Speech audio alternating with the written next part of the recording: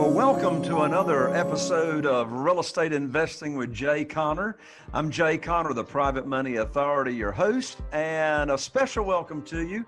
If this is your first time to be tuning into the show, we talk about all things real estate investing here. And if you've been tuning in over the last year and a half or so, you know I've had some amazing guests here on the show, and today is no different. But before I introduce you to my special guest, that's going to tell you how to save a bunch of money on your taxes and how to increase your cash flow in your business, which I know you're interested in.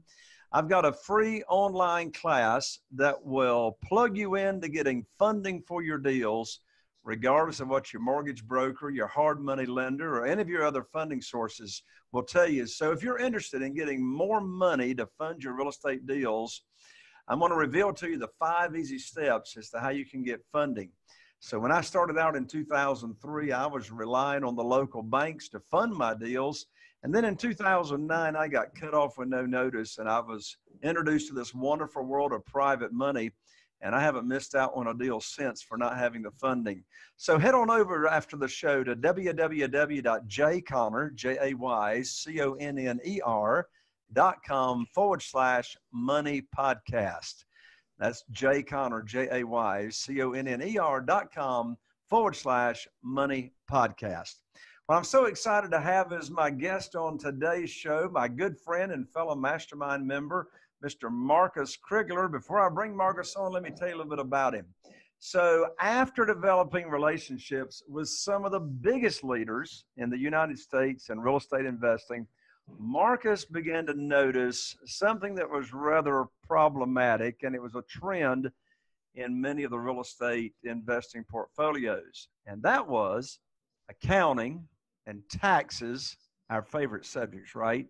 Were being approached reactively, listen carefully, reactively instead of proactively. So Marcus set it out as his mission in the firm where he's at. Duckett Ladd is the name of their company. So he set out on a mission. So using his firm's extensive experience in real estate as the platform, and by the way, these people, Marcus and his partners, he's a partner in the firm, they specialize in working directly with real estate investors.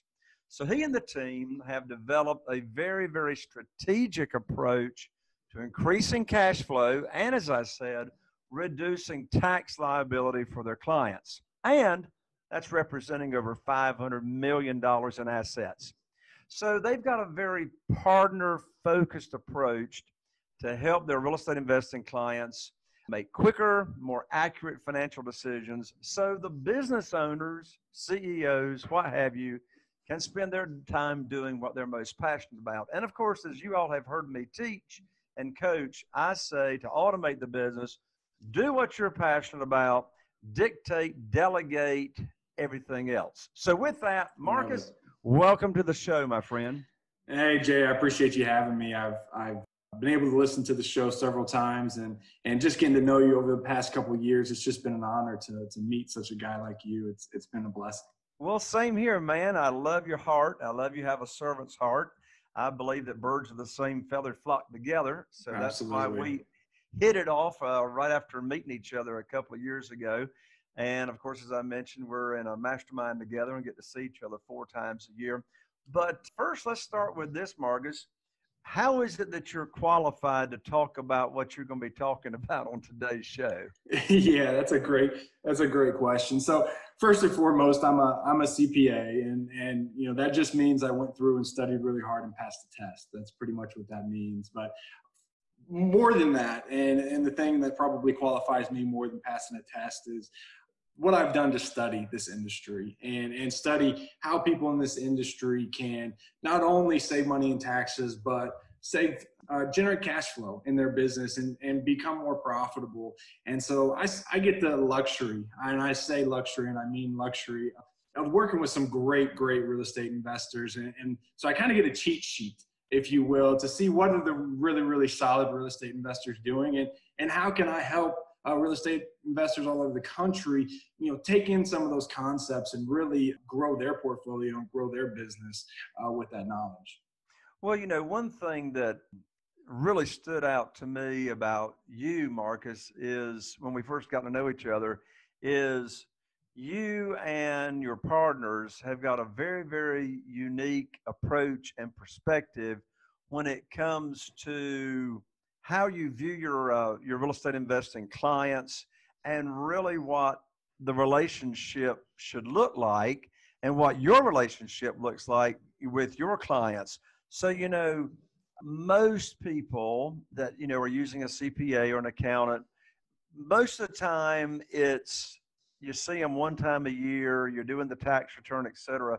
So what is it about you and your partners that is so different from the traditional relationship that a CPA would have with their real estate investing client? Yeah, so great question. So one of the things that when we when we set out to do something a little different in the CPA profession, we're all we're all younger guys, and you know we all have uh, kind of a mission behind us.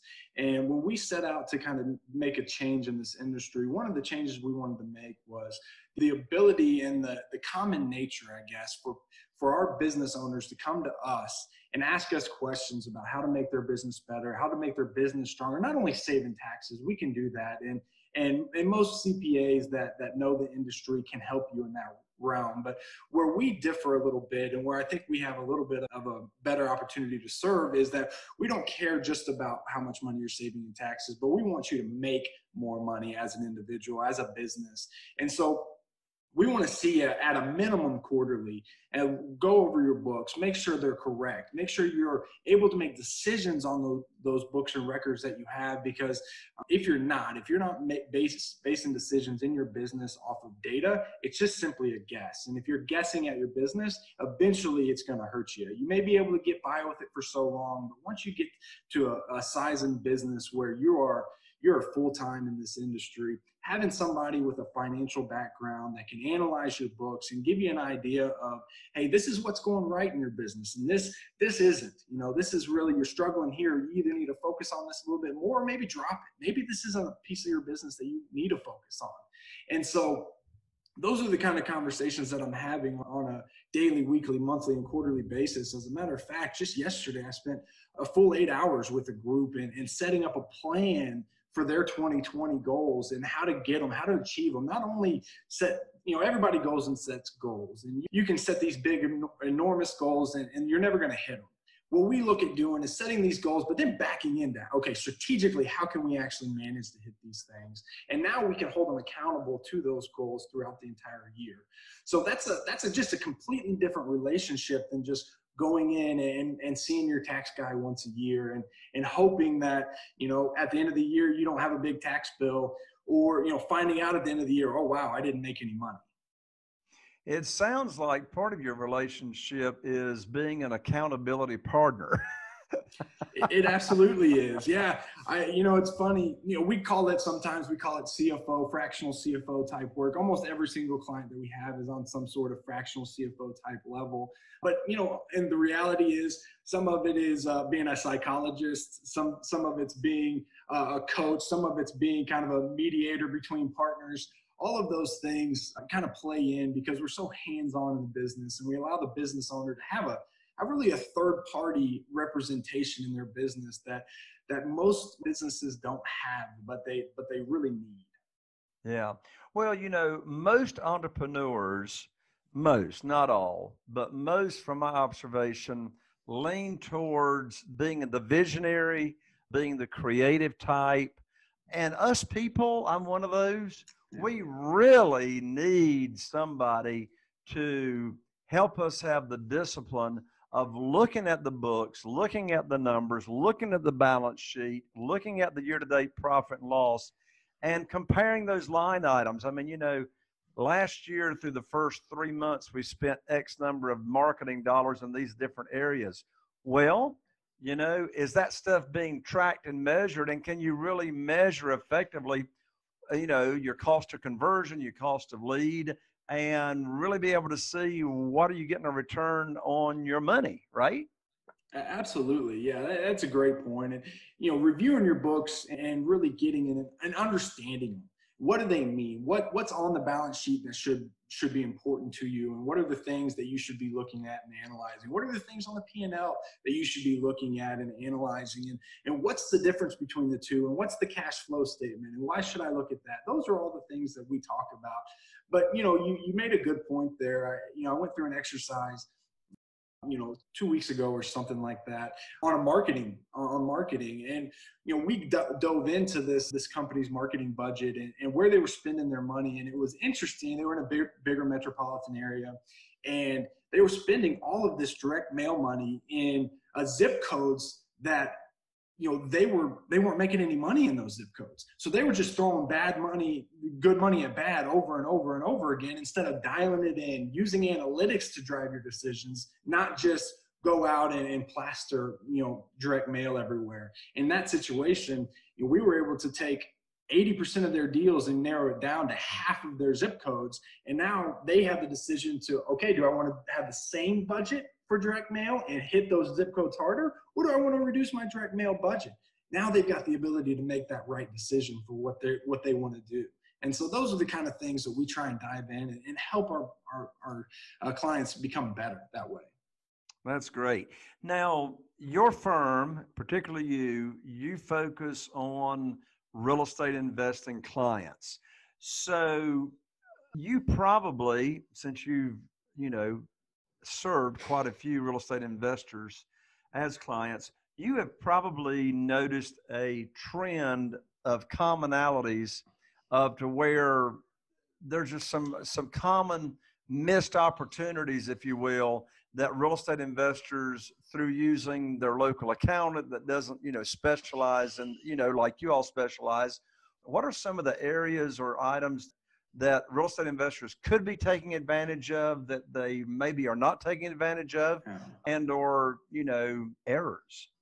Yeah absolutely. So i'll tell you the biggest mistake that i see and, and the one that causes the most surprises is incorrect entity structuring. And when i say an incorrect entity structuring that has everything to do with knowing when to uh, have a disregarded entity, knowing when to have an S corporation, and knowing when to have a C corporation, and knowing when to have a partnership, and and those are all taxed a little differently, and and so the IRS has this different rules for all of those. So if you don't mind, I'll I'll just kind of give a couple of quick examples of of how people can use those types of entities to benefit them. So an, an S corp, and I'll just to kind of talk about the two main, which is an S corp or a partnership. So an S corp is where you want to house your active income business. So this is a business that, you know, if you're a flipping company, that's where you that's where you house your flipping company. If you're a wholesaler, that's where you house your wholesaling. It's active. You're out actually out there, you're physically doing work or you've got a team physically doing work and you're generating income from them. Now, that's an S corp. Now, if you have rental properties, this is very, very different. This is where I see the big, big mistakes happen. If you have rental properties and you have those inside of an S corp, it could cause you a huge, huge heartache as far as hidden taxes that you don't know about. And I won't go into those because they're they're kind of complicated, and we don't have enough time on this podcast to do that.